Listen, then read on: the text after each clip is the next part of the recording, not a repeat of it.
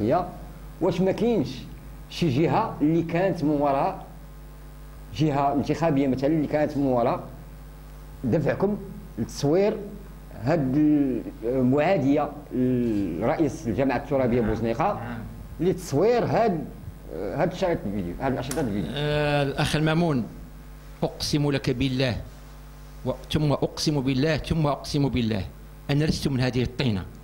الذي يمكن أن يتجري في بشار ويحثني على العمل ضد كريمين أو غيره. أنا مع وطني ومع ملكي. أنا وثقت هذه الأمور. ليطلع على شعب بأكمله. بل أن المسألة أن هذه طامة بالنسبة لنا. أن هذه الصورة ما تتحبسش في المغرب عباد الله. ما تتحبسش في 34 مليون مغربي. تخرج للخارج أنا وصلني اتصالات من الخارج. الناس تيستنكروا التصرف ديال السيد هذا. هذا يعتاد على هذه المسائل. راه ماشي ما يعتادش عليها. ما عرفش أنا بعض الإخوان اللي سكتوا على الابتزاز اللي تعرضوا ليه واش خجل من الميكرو ولا هذا أنا أصرح بأن أي أحد لم يساومني في أن ألتقط.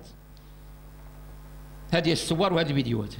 لأن لأن أستاذ هناك من يردد آه، بعد نشر الفيديوهات وكذا من يردد أن هناك جهات انتخابية آه، هي من كانت وراء نشر التصوير ونشر الفيديوهات لضرب مصداقية كريمين ومصداقية أحمد الداهي وخلق مشاكل لهم في خلال الانتخابات. يا أخي يا أخي المامون أنا لست أدري وربما أظن فلتة لسان نعم. كيف تنطق بأن هؤلاء الناس لهم مصداقية؟ مع كامل احتراماتي لك. نعم. هؤلاء الناس ليست لهم مصداقية. أه، نحن نحن نقوم بعملنا وواجبنا شكرا ماشي مشكل. أنا لا أسميها مصداقية. الناس لا يملكون مصداقية. من يتاجر في رقاب الناس لا يملك مصداقية. نحن قلنا يقولون. لسنا من نقول. من يروج من يروج, من يروج لهذه الأمور؟ هم بطانة هؤلاء الرئيسين. شكرا. هذه بطانة تروج لهذه الأمور. فقط. شكرا أستاذ عبد الله. آه، الاخوان شكون اللي عنده شي تساؤل. أستاذ حافظ. تفضل. أه سي شمسي المحامي ديالنا المعروف بغينا نسولوك واش واش هذا الفيديو هذا واش فيه شي متابعة قانونية؟ ما يثبت المتابعة القانونية واش كاينة ولا ما كايناش؟ حيت كيبان لنا أنه فيديو فيه الفلوس ولكن واش راه ممكن يتهربوا بهذيك الطريقة؟ يقول لك هاد الناس خدامين عندي كنعطيهم فلوس أو هذا الشيء اللي بغينا نعرفوه السي شمسي.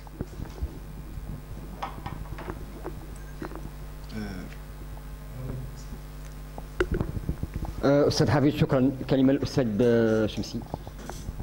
جاوبت على هذا السؤال وما فيها باس نعاود نجاوب عليه مرة أخرى.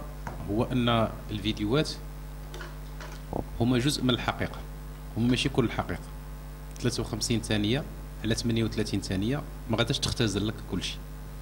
قلت أنا على أن المحقق اللي غادي يتكلف بالتحقيق واللي مفروض فيه غادي يكون محترف ومهني غادي يعتبر الذاكرة ديال السي عبد الله هي الأساس وهي المنطلق لأن اللي شافوا السي عبد الله ماشي كل شيء اللي شافوا صوروا خاصة أنا ملي كنشوفوا التليفون اللي كان كيصور منه مرة مرة كيجيو قدامه واحد جوج صبعان. ربما هو كان كيصور حسي مسي وما كانش كيبغي الأمر يتكتشف. فهادوك كون جا عندنا السي عبد الله دابا جلس عندنا وعاود لينا هاد التعاوده وما عنده حتى شي فيديو. حتى واحد ما غادي يعقل عليه. مشيتي معاهم ما عطاوكش جيتي باغي شهادة خاوية. ولكن جاب لنا بداية حجة كيسميها القانون. هاد بداية حجة توثق لواحد المجموعه من الأشخاص تواجدوا في واحد المكان معين في واحد التاريخ معين في واحد المنزل معين.